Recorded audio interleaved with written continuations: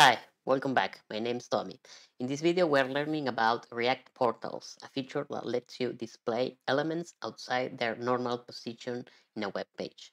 This is helpful when you have items like popovers, modals, or tooltips that need to pop outside their usual containers. Before getting into today's topic, consider subscribing so you don't miss the next video. Now, let's dive in. React portals were introduced in React 16 in September 2017. React 16 brought a lot of changes and improvements to the library, with portals being one of the standout features. React portals provide a way to render children into a DOM node that's outside the parent's component. This is useful in cases when a component needs to break out of its container. For example, when we have modals, popovers, and tooltips. The main API for portals is React DOM.createPortal. The function takes two arguments. Child is the React element, fragment, or component that you want to render. Container is the DOM node in which you want to render the child. Let's create a new React project with Vite. We'll choose React as the framework and JavaScript as the variant. Then we initialize the project, which can be browsed in the port 5173. We should get the initial sample application page. So this is the structure of the initial project. Let's create two files, modal.jsx and model.css.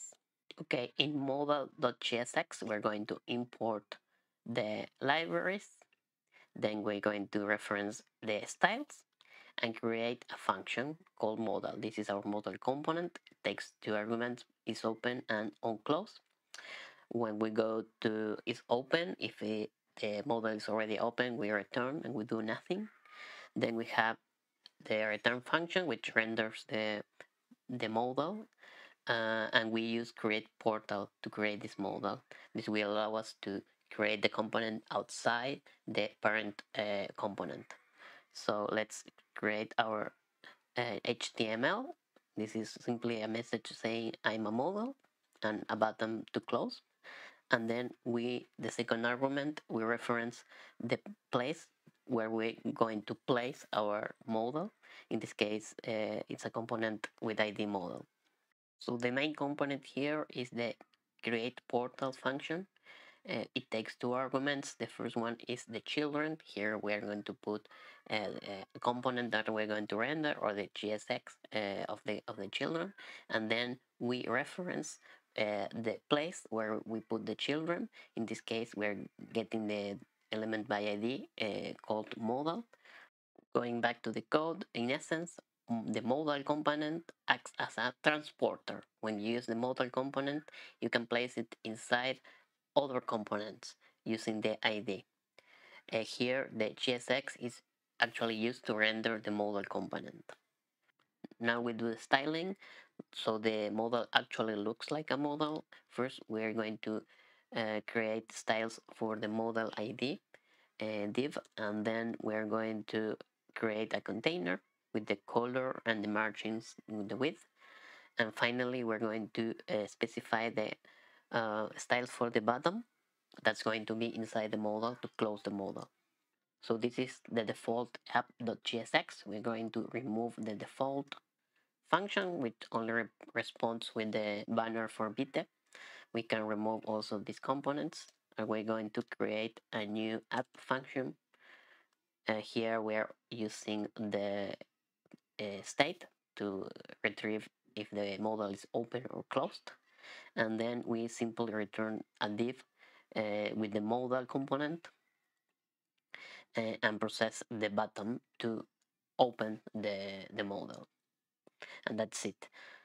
Now the final thing is to open index.html and add a new div with the modal ID. Note that this ID and this div it's outside the root of the application so we are using create portal to create uh, a component outside the root uh, and this is the benefit of create portal.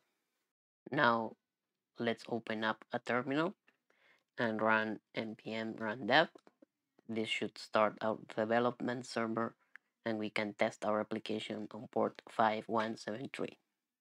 Now let's open the application uh, and see if it works by clicking on the show model button and then we can close the model.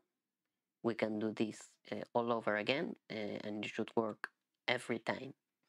Alright folks, that wraps up our tutorial on React portals.